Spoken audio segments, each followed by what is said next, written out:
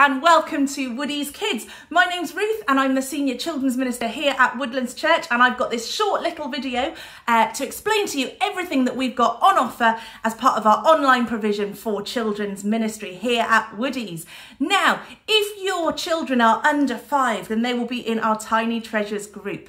We know that Zoom doesn't work particularly well for under fives. So what we've done is we've created a dedicated Woodies Kids YouTube channel.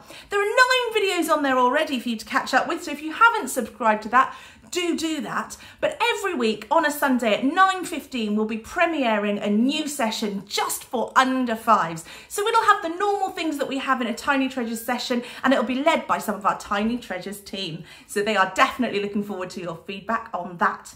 If you have a child in school years one to three, they will be in our Bright Lights group. Uh, we're going to be holding Sunday Bright Lights on Zoom. This will happen every Sunday at 10 o'clock.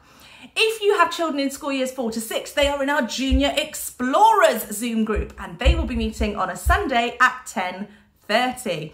Now, we know that you guys are doing a brilliant job of discipling and parenting your children for a life of faith in the home, and we'd like to help resource you do it even more.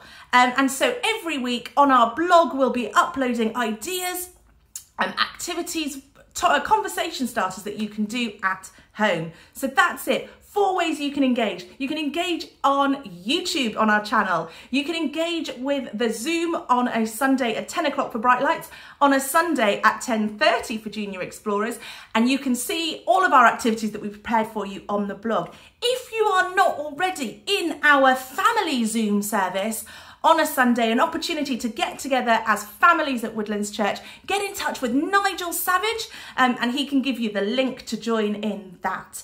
Um, and if you've got any questions for me at all or any of the rest of the Children's Church team, drop us an email. Listen, we miss you. We wish we were with you face to face. We're always looking at the guidelines and thinking creatively about things we can offer for you guys as church families. But we hope that with our YouTube provision, our Zoom sessions, and the stuff we're providing online, um, that that will be a little bit of church while we still can't meet in person.